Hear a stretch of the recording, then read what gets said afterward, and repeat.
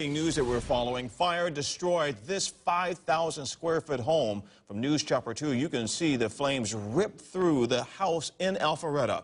More than 30 firefighters have battled the fire for much of the afternoon. Channel 2's Mike Petchenik is live in Gransley Court with how a neighbor says he sprang into action. Mike. Dave, firefighters continue to spray this very large home to prevent the fire from sparking back up. Neighbors tell us these flames moved very, very quickly.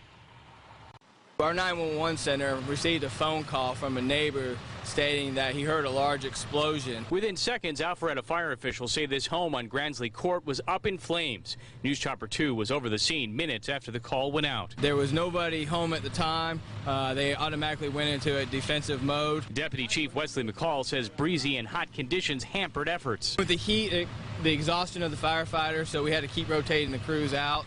Um, with our automatic aid agreement with Milton, it helped out a lot. Neighbor Brad Knight told us someone knocked on his door to find out who lived at the home. I gave them a call on, on, the, on their cell phone, got their message machine, but I understand they're okay, that they weren't involved in the fire. Knight says he's thankful nobody was hurt. Terrible thing for some, something like that to happen on, uh, to somebody on the 4th of July.